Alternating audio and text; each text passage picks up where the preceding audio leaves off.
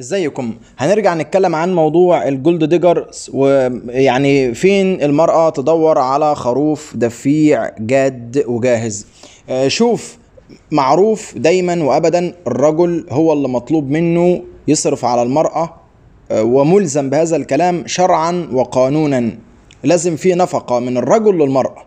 بس هم بقى بيقول لك إيه؟ إن المرأة تساوي الرجل والمساواة ما بين الرجل والمرأة. ماشي آه، يعني إحنا هنعمل نفسنا ما سمعناش الكلام ده. هو كده كده عمر ما كان في مساواة ما بين الرجل والمرأة ومستحيل يبقى في مساواة بين الرجل والمرأة وده مش موضوعنا. موضوعنا دلوقتي إنه المرأة هي أصلا آه، المفروض تاخد كل حاجة من الرجل.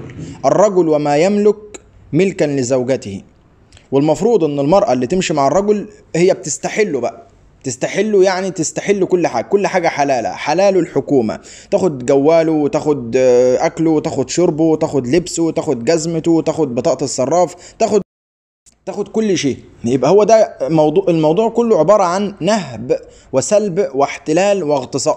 كده. فالمرأة الشاطرة في وجهة نظر أي حد هي المرأة اللي بتحتل جوزها أو بتحتل حبيبها وغصب عنها أو غصب عنه مش عنها غصب عنه إنه يوفر لها كل شيء. سواء بقى هو ماشي معاها هو صديقها هو خوية هو عشيقها هو حبيبها هو زوجها تحت أي مسمى. المفروض إن المرأة تكون gold digger. وعشان تكون gold digger حفارة الذهب. هي عمرها ما تعطي وجه للأشكال الفقرانين الطفرانين الكحيانين الجعانين الشحاتين.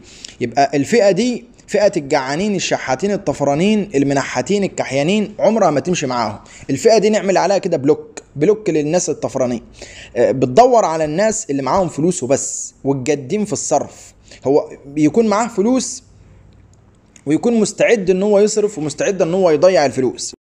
سؤال رقم اتنين أو رقم ثلاثة هل فعلا في رجالة مستعدة تضيع فلوسها على النسوان طبعا على قفا من يشيء. يا كتر الرجاله اللي مستعين يضيعوا فلوسهم على النسوان. هل الكلام ده موجود ومنتشر؟ طبعا. في ناس كتير كرجال أصلا مش لاقيين نسوان في حياتهم. يا حول الله عندهم صعوبة في تكوين علاقة عاطفية أو علاقة زوجية. هو عنده اكتئاب هو عنده وسواس هو عنده توحد هو متخلف عقليا هو ما بيعرفش يتكلم هو لسانه ملسوع بالنار. آه، كان بياكل سد الحنك وهو صغير ما بيعرفش يتكلم مع نسوان. محتاج بقى واحدة تيجي تتكلم معاه وتطلعه من الجو الزبالة اللي هو عايش فيه وحياته الزبالة دي. خلاص هو رجل قادر مقتدر عنده صحة عنده فلوس ولكنه يفتقد إلى الحالة العاطفية. وبالتالي هنا ال- ال- ال- البنت أو المرأة تدخل من الجانب ده. خلاص هي هتوفر له العاطفة والحب والاهتمام في مقابل إن هي تشفط فلوسه. آه باختصار كده الموضوع ده منتشر في اليابان وأنا هحط لكم الصور اللي بتتكلم عن الكلام ده. سؤال رقم اتنين أو رقم ثلاثة هل فعلا في رجالة مستعدة تضيع فلوسها على النسوان طبعا على قفا من يشيء. يا كتر الرجاله اللي مستعين يضيعوا فلوسهم على النسوان. هل الكلام ده موجود ومنتشر؟ طبعا. آه، في ناس كتير كرجال أصلا مش لاقيين نسوان في حياتهم يا حول الله عندهم صعوبة في تكوين علاقة عاطفية أو علاقة زوجية. هو عنده اكتئاب هو عنده وسواس هو عنده توحد هو متخلف عقليا هو ما بيعرفش يتكلم هو لسانه ملسوع بالنار آه، كان بياكل سد الحنك وهو صغير ما بيعرفش يتكلم مع نسوان. محتاج بقى واحدة تيجي تتكلم معاه وتطلعه من الجو الزبالة اللي هو عايش فيه وحياته الزبالة دي. خلاص هو رجل قادر مقتدر عنده صحة عنده فلوس ولكنه يفتقد إلى الحالة العاطفية. وبالتالي هنا ال- ال- ال- البنت أو المرأة تدخل من الجانب ده. خلاص هي هتوفر له العاطفة والحب والاهتمام في مقابل إن هي تشفط فلوسه. آه باختصار كده الموضوع ده منتشر في اليابان وأنا هحط لكم الصور اللي بتتكلم عن الكلام ده. هم عندهم حاجة اسمها الهوس بطلبة المدارس. البنت اللي عندها مثلا 17 18 سنة تقعد مع الرجال ال- ال- البالغ ال- العاقل اللي هو من 40 سنة إلى 50 سنة هو بيدور بقى على واحدة كده لسه صغنطوطة. فيها حيوية وشباب ترجع له شبابه وعشان يرضي الغريزة إن هو لسه معجب بيه أو إن هو لسه آه، يعني سوقه ماشي إن هو لسه آه، يعني مثير للانتباه ومثير للإعجاب وإنه في ناس فعلا تثني عليه وتمدحه. وتمدحه وتتكلم عنه إن هو كويس وإن هو حلو وإن هو جميل باختصار يعني. فهنا الموضوع كله موضوع إنه في فراغ عاطفي استغلال الفراغ العاطفي الموجود عند بعض الرجال. في نسوان شاطرين جدا في الموضوع ده. هي تعرف كيف تغري الرجل آه، كيف تشفط الرجل كيف تاخد فلوس الرجل كيف تلف عليه زي التعبان كده. هحط لكم صورة التعبان اللي بيلف على الضحية. بتعمل زي لوب كده تلف عليه يعني. وفي كل الاحتمالات في كل الظروف وفي كل الاحتمالات الرجل هو يعني مصدر دخل كبير قوي للمرأة كخروف وكزوج وكأب وكأخ وكصديق وكأي حاجة. إن المرأة تصرف فلوس على الرجل ده الشيء الاستثنائي أو ده الشيء ال- ال- الشاذ عن القاعدة. القاعدة بتقول الرجال قوامون على النساء.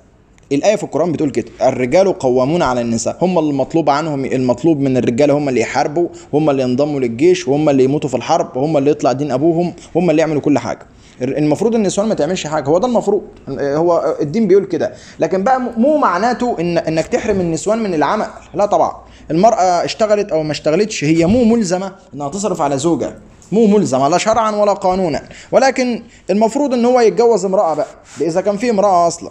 يعني ماشي ما يعني تجيك واحدة غفير من من العسكر والغفرة وتقول لك أنا امرأة. it's okay. أنت ممكن تكون امرأة بس إحنا مش حاسين. المهم ملخص الموضوع ده أي gold digger لازم يعني حفارة الذهب gold digger يعني حفارة الذهب. اللي بتدور على الفلوس في جيب الرجالة. اللي بتفشخ الرجالة وتاخد فلوسه. اللي بتسحب فلوس الرجال هي دي ما هو تعريف ال gold digger. ال gold digger هي امرأة بتفشخ الرجالة وتاخد فلوسه. بس اختصار كده. تحت أي مسمى وتحت أي سبب وبأي حجة وبأي أسلوب وبأي طريقة كان. تاخد فلوس تاخد سيارة تاخد هدايا تاخد ساعات تاخد آه، ذهب تاخد إكسسوارات تاخد هدايا تاخد عفاريت تاخد شياطين تاخد أي حاجة. المهم إن هو بالأول وفي الآخر استغلال الرجل. هو بقى يعني سواء هو فاضي أو مش فاضي هو محتاج أو مش محتاج هي بتفرض وجودها. يعني في كل الظروف وفي كل الاحتمالات هي بتعرف آه، تختار ال- ال- ال- الضحية المناسبة والشخص المناسب وتختار ال ال يعني الوقت والزمان والمكان. دي صنعة يا جماعة. زي ما أنا حطيت لكم الصورة بتاعت ال- ال- الأناكوندا الافعى الكبيرة وهي بتلف على التمساح كده وتعصره وتاخده أو تبلعه أو تقتله. آه، نفس النظام. لما تجيب امرأة من برج العقرب وتسلطها على رجل تفضل تلف زي الشيطان حواليه زي التعبان كده تلف تلف تلف تلف تلف لحد ما تستولي عليه لحد ما آه، يعني تسيطر عليه كاملا وخلاص بقى تلعب في دماغه تخليه يبيع لها الأرض يبيع لها البيت يكتب لها البيت باسمه ولا باسمها ما أدري يكتب لها السيارة باسمها يكتب لها للشركة باسمها يبيع لها أسهم في الشركة باسمها كده بالظبط. يعني هي باختصار واحدة بتدور على خروف جاهز للتخصيب وللاخصاب خروف جاهز للسلخ والذبح. بس أدي كل ما في الموضوع. آه، كيف تبحثين عن خروف آه، دفيع جاهز للدفع وال- والشنكحة ويعني كيف تاخدوا فلوس. بس هذا كله في الموضوع.